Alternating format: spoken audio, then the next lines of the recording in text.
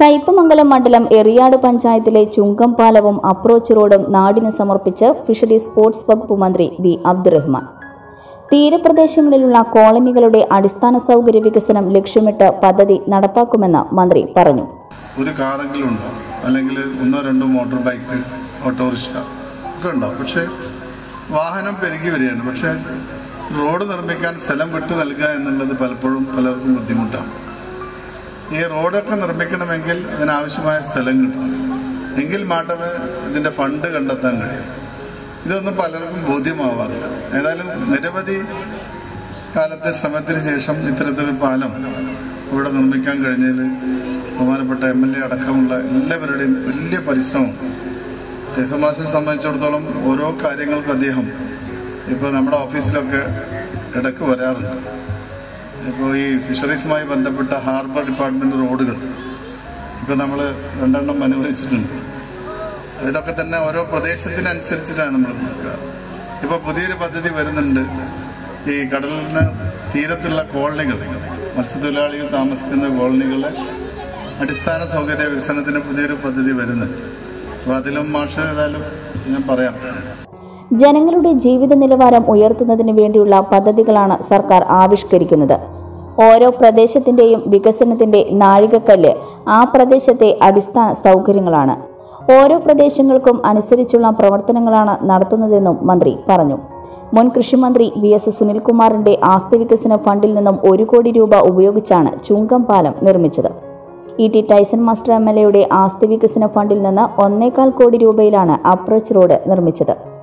Approach റോഡിന് കിഴക്ക് ഭാഗത്ത് അമ്പത് മീറ്റർ നീളവും അഞ്ച് പോയിന്റ് അഞ്ച് മീറ്റർ വീതിയുമാണ് ഉള്ളത്.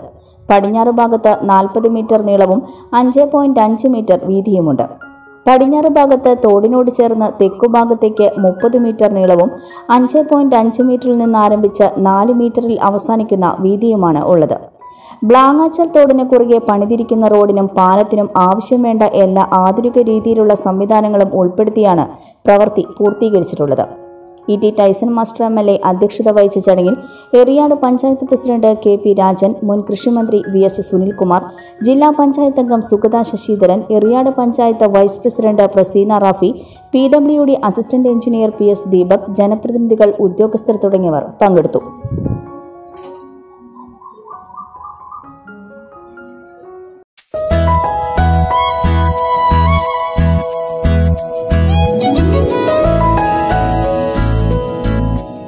How was today? Anything new? Hmm? We sang, we danced, and we wrote. Is it true? Yes.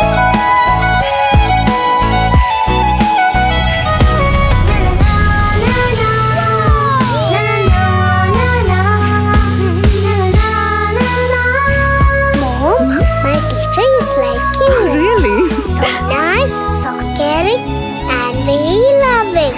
Thank you While built on the basics of values like wisdom, virtue, honor, and more, Holy Grace provides wings to reach goals so unique, so diverse, both mentally and physically, in a loving ambience. Holy Grace Academy, making a difference. സുവർണ സ്വപ്നങ്ങൾക്ക് പൊന്നിൻ സാക്ഷാത്കാരമേകിയ Mughal jewellery ഇപ്പോൾ നമ്മുടെ മൂന്ന് പീടികയിൽ Mughal jewellery Moonpedica and Tripura.